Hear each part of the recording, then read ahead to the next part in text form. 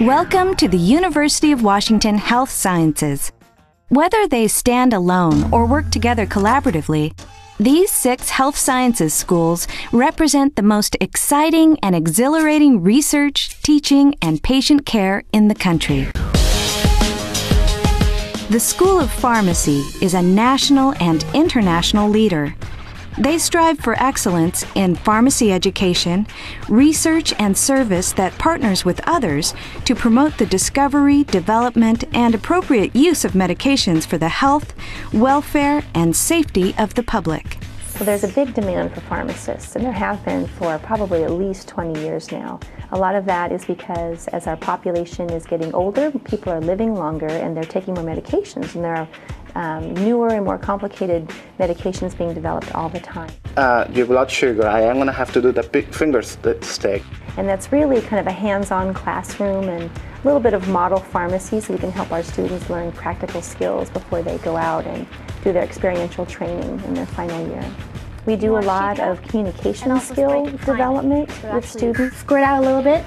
They learn to do uh, a skill called compounding, which is actually making of medications that may not be commercially available. We also have them fill prescriptions in this lab, just sort of um, placebo sorts of things.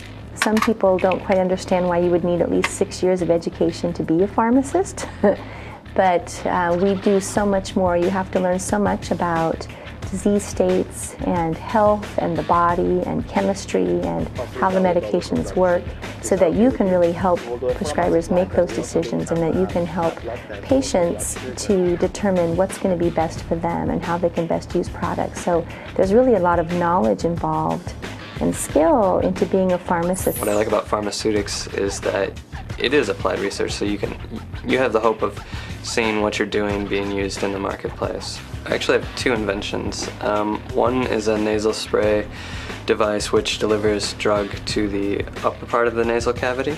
And if you can deliver drug to that part of the nasal cavity, you can actually get direct delivery to the brain. And the other part of the invention is a nanoparticle formulation, which enhances absorption across the membranes in the nose.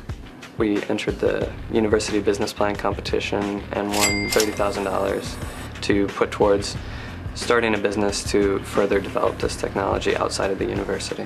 What we do is can be applied in the clinic at the bedside by the physician, by the pharmacist, by the nurses in terms of improving drug therapy uh, of the patient and reducing perhaps the toxicity of the drug and improving the effectiveness of the drug.